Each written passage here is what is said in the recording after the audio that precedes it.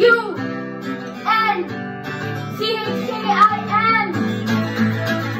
is the Munchkin World. The Munchkin World. You're watching the Munchkin World today.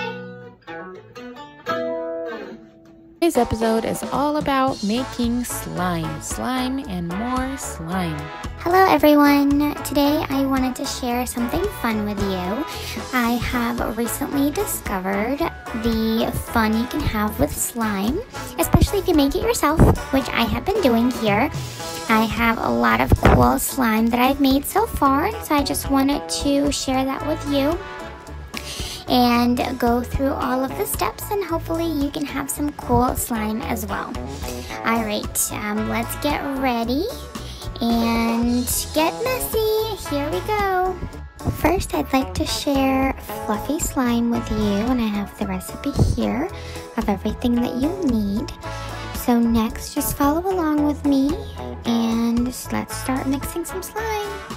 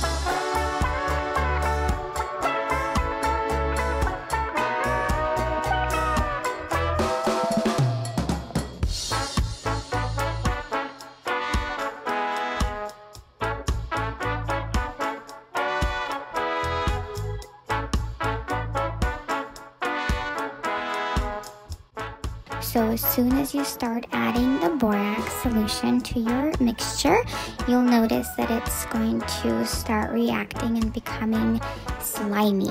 So the cool science behind it and how that actually happens is that the glue is made up of something called polymers that I just learned and the little grabby ions in the borax solution will well they'll start grabbing the the glue. And the strings of molecules will start bonding together. And that's how slime becomes slimy.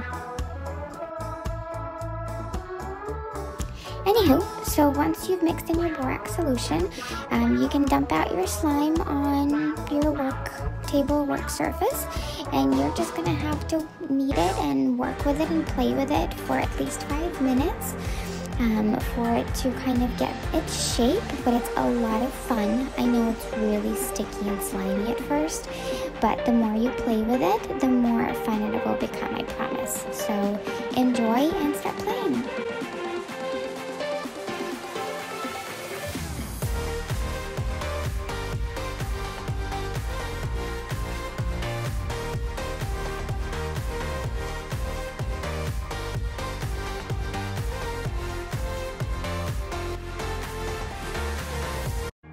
Next, let's make some butter slime.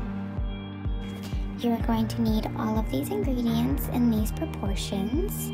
And once you get everything ready, follow me and let's start mixing our butter slime.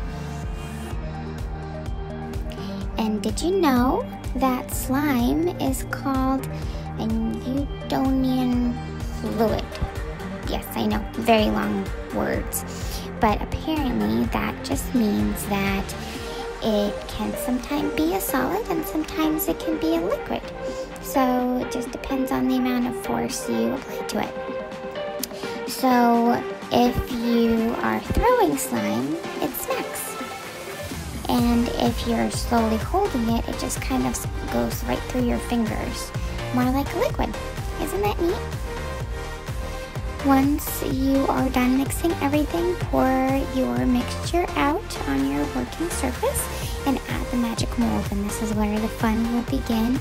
It's gonna get really messy and really sticky, but I promise this is my favorite part. Of course, besides actually playing with it once it's done, but other than that, I love this part.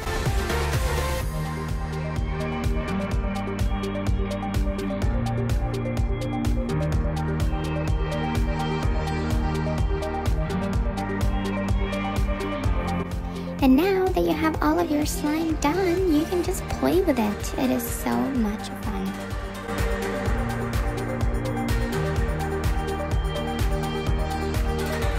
Thank you for joining me today, guys, and making some slime with me. I hope you had tons of fun, and please enjoy your slime at home. Click the subscribe button down here to get updates on our new videos. See you soon. N U